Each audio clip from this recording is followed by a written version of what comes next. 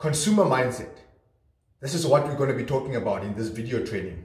When you are able to think from the perspective of a consumer, you get a better understanding of what drives them to make the decisions pertaining to their visions and management thereof. And so in this video training, we profile the mindset of a consumer and train you on how to overcome the various communication challenges that may occur in your optometry practice that you're working in.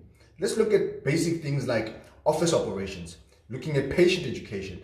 Optometric staff need to have detailed clarity on the following components of the day-to-day operations of the business.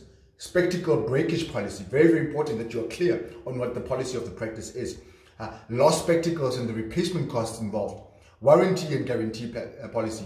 Chipped or scratched lens policy or the solutions that the practice covers. Uh, worn out frame solutions, insurance options, optical benefits and payment options and responsibilities. So this is something that you need to be confident and clear. So if going back to having a flip file, if you have your own individual flip file that you're keeping at your desk that you're working with, that details that, oh, okay, this is what we do with this. This is what we do with this. A patient comes in complaining of the following or having concerns of the following. This is the procedure that I must follow. And have a clear folder that on the computer that you can easily print out, go and access. So it shouldn't be something that you you're struggling to scramble or, or, or, to find where is this, where is that. You need to know exactly where this is, where this is at, so that when the scenario presents itself, you can adequately communicate with the respective consumer with ease. And so what I've just mentioned now needs to be thoroughly understood by every staff member and there should be either a file, like I said, that is kept in place or a folder on the PC that every staff member has immediate access to.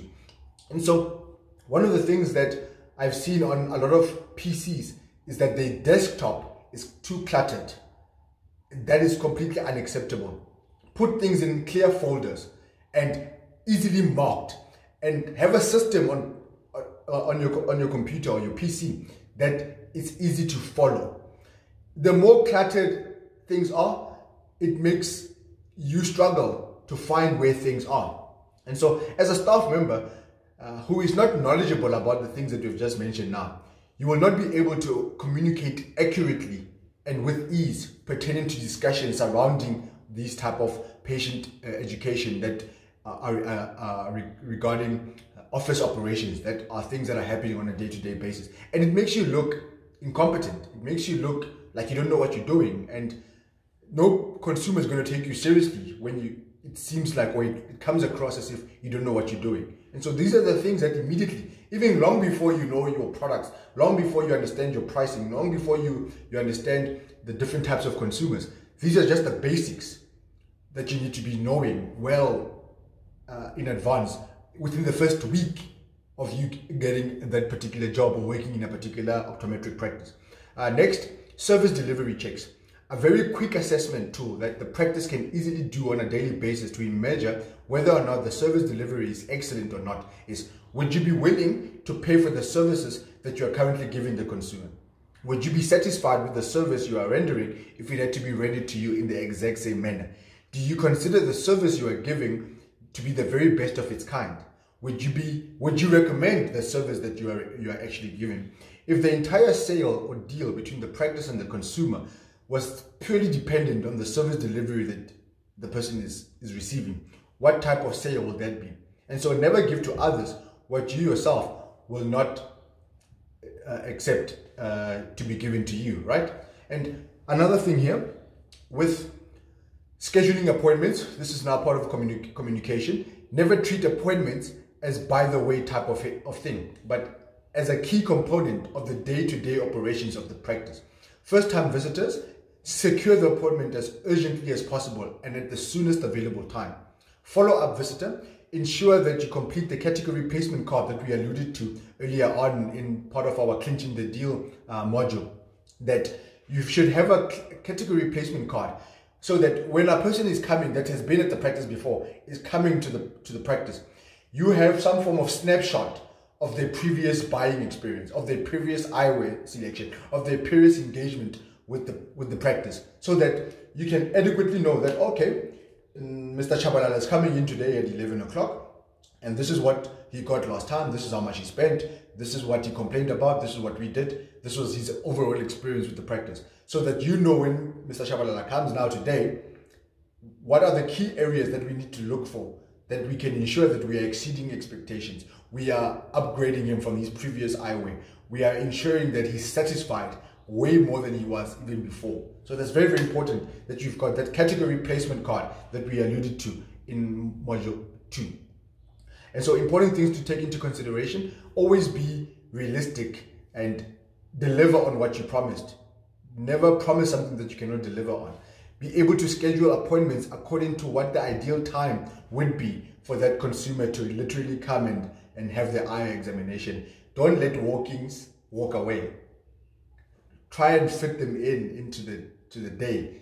So plan for your walk-in. Be flexible with your diary in such a way that if there's a potential walk-in, how do you adjust your schedule? What do you need to do? Because that walk-in is someone that has never been to the practice before. So you want to secure that person right there and there. Within it might be someone who's walked who's working at the mall. Hey, can you have my eyes tested? And you're busy, you've got your diary that is full, and the next available time is three hours from now. Well, sir, while we're waiting for your appointment at three o'clock, perhaps we can confirm your medical aid benefits. We can select. Uh, do you feel like uh, you you've got a problem with your eye? Perhaps you can quickly do a screening test and just do a, a, a, screening test that can actually indicate with us um, this could be from your auto refractor. You can say, look, just by this, uh, there is an indication that there might be a problem, and there's a problem with regards the the, the your pressure, uh, not your not your pressure, but you can do some form of indication where you can say, look, for in case you might need a pair of spectacles, how about we just look at various options, look at some things that you might like for yourself right now, so that when you do come for your appointment later on, a lot of what will be happening then has already been taking place now. So do something, be flexible with your appointments. Always check the benefits before the consumer arrives if you have the details already, or immediately when the consumer arrives, but never after they leave. Uh, stay on time, very, very important. And here's the thing it's easy to check benefits. Someone makes an appointment on the phone, Ask them, are the details still okay? Why are you wait? Why are you waiting for them to show up for their appointment to check the medical aids? Ask them. So, on the file here, let me pull out your file. I see that you have been with us for the last four years. Uh, are you still on the same medical aid? Yes. Do you mind if we, are you comfortable? Are you giving us the go ahead for us to check the benefits for you right now so that when you come for your appointment, you then know that we've already done that process? The person is going to say yes. So it's very, very simple. Or even if they say, no, my medical aid has changed. So, well, we can fast track the process. You can email us your details so that we can then check the benefits for you and get back to you in terms of what your new medical aid will cover for you pertaining to your.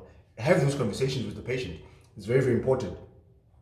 And so, uh, handling complaints and queries, important things to take into consideration. Always stay calm and respectful at, at, at all times, no matter what the circumstances may be. Listen well enough to understand the consumer and not just to respond. Acknowledge the problem at hand and reassure the consumer that you are dealing with the complaint with, with a matter of urgency. Uh, make sure that you have all the necessary information by, pro by probing the consumer and, and, and, and the rest of the team in terms of what went on there. Uh, provide timeframes and solutions to the consumer pertaining to what they complained about. Ensure there specific, there's a specific individual that has been allocated to take charge of the problem. And make sure that you're providing those time frames very very important that the consumer knows that you're going to communicate with them in this manner.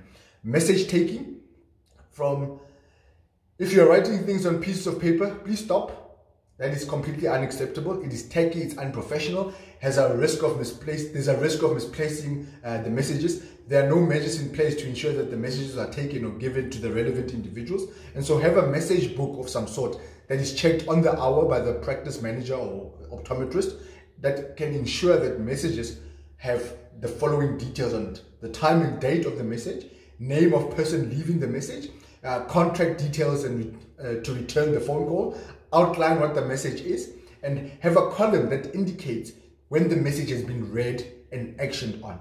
Very, very important that you, you're ticking off that which you have done uh, pertaining to the message taking. Very, very important. And so those are just some guidelines in terms of how do you handle day-to-day operations within the practice that you encountering as a practice uh, employee.